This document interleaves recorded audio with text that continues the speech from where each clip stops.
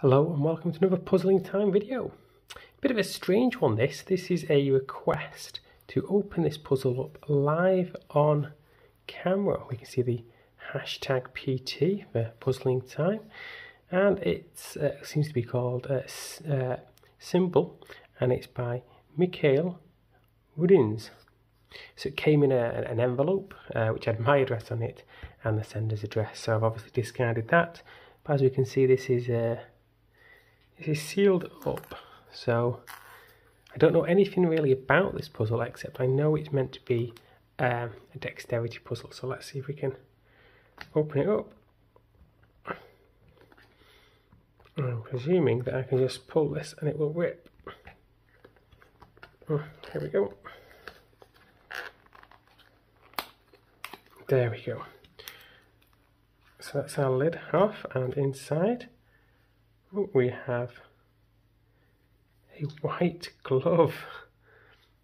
Now, I would I was actually expecting a glove of some sort because um, I was asked to provide my hand size.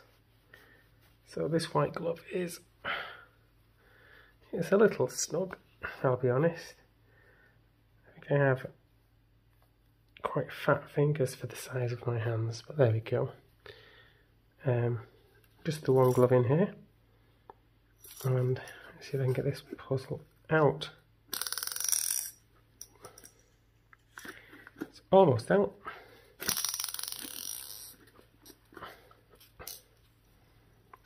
The box is beautiful.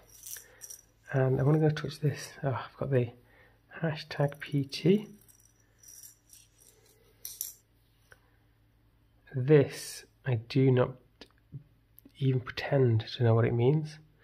Uh, I presume it is just the symbol written uh, in Greek. And I'm guessing the idea is to just get the ball on top there. As far as I know, there's no trick to this. I'm holding this upside down, looking from the side. I can't see any indentations on the glass. Um, looking around, cannot see much on the metal itself, so I'm not sure if there's anything hidden in here. I'm guessing not. I'm guessing this is just a pure dexterity challenge at this point. Um, now, there's two ways to attack a challenge like this. One is, is almost pure luck by trying to get the ball and um, trying to almost roll it up. The other way is to um, is to, is to obviously try and roll it up. This is way too smooth. I would seriously struggle um, trying to roll this up the metal hill. Now, because this is curved, uh, having done a few puzzles like this in the past, I do know that it is possible to take a puzzle like this and almost ro roll it up about halfway and get it to drop. But that there's not much clearance. So that would seem quite difficult. Zoom in there, there's not much clearance at all. It's so beautifully made. Um, I will play for just a minute or two to see if I can solve this without um,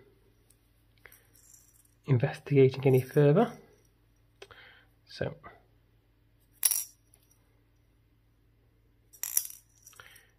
So very gently. The trick with a dexterity puzzles is not to try and be too random. It's to try and kind of hone in over time how close you're getting.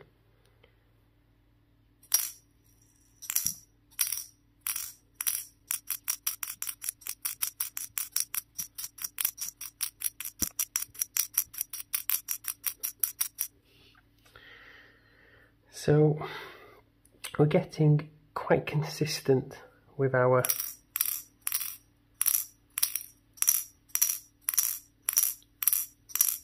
lifts. And I think this idea of kind of almost like lifting the puzzle and letting the curve do the work is an idea. I mean something to bear in mind is this is a metal ball. So if there was a you know a hidden magnet inside this box which I can't seem to find um, you could just use a magnet to kind of move the ball up I've seen that trick done um, before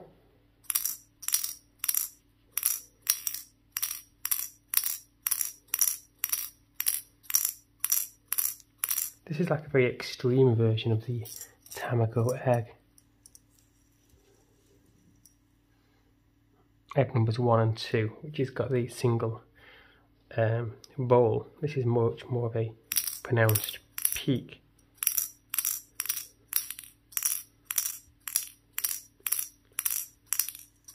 So I think what I'm going to do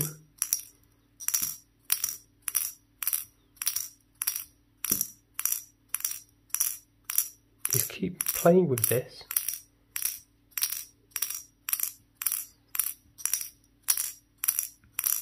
in the hope that um, I learn a, a decent technique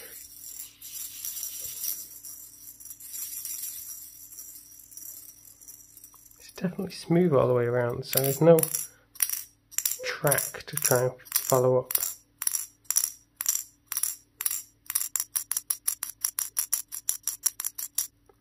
So I don't mind, when I'm doing a trick like this, I don't mind kind of repeatedly falling short. What's worse is going over the top and it being random and the ball landing everywhere. You actually want a consistent bounce. You can try rolling it, but I think that would be impossible.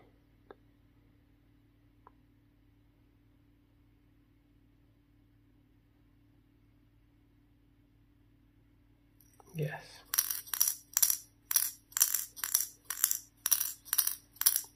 And again, another trick with uh, puzzles like this is if you're lacking consistency with one hand, do try two hands and just try and be as gentle as possible.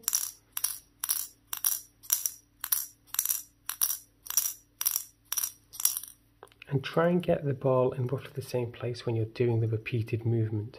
I tend to typically start with the ball at the back and move it towards me when I do these puzzles rather than away. I just feel I have a bit more control.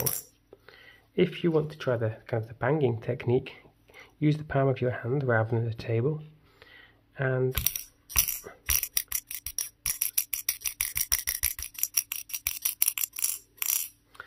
So I'm going to stop here because I'm going to have to play with this quite some time I think. But as we can see it's beautifully made. Um, we've got this wooden base with a very very thick wooden base here.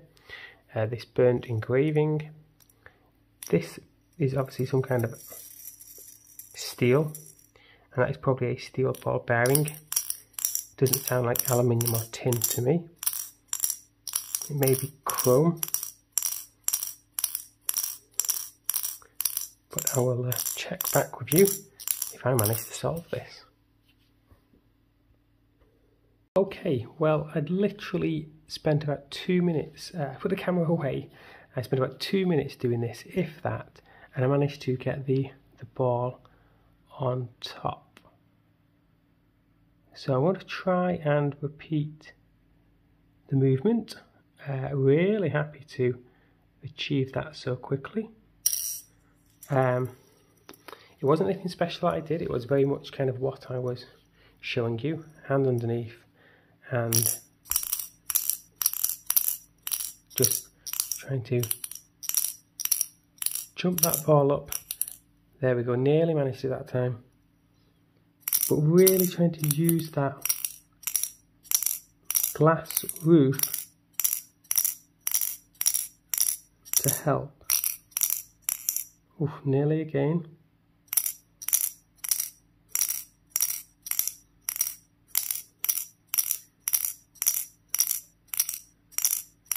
This could be one of those annoying puzzles that I can solve just not on camera.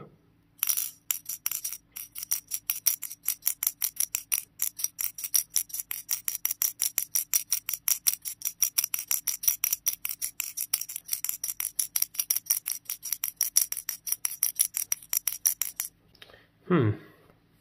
So, just take a minute.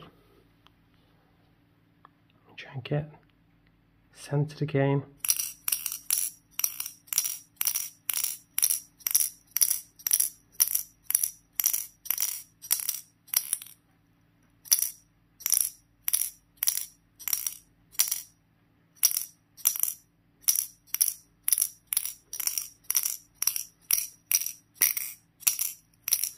Feel like it's more hitting against the glass that is the trick rather than trying to bank it down.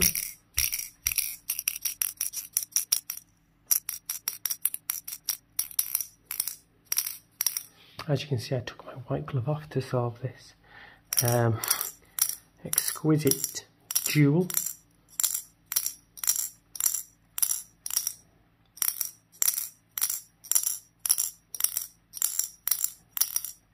I love the fact this is glass and not plastic. There we go, fantastic. So we managed to again. So very interesting. It did seem to almost you know jump up and bounce and wobble around. I'm going to investigate this a little bit further.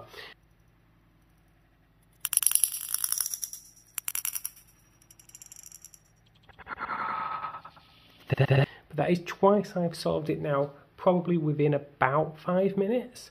So it's not completely impossible, but there obviously is a bit of a technique. Now I've said this before about dexterity puzzles. Puzzles like this, for me, the, the puzzle is trying to work out how did I do the solution? What was the technique? Um, and this is this is this is exceptional. I think this is a really really nice version of a Dexterity challenge. A dexterity challenge doesn't always mean going as slow and careful as possible.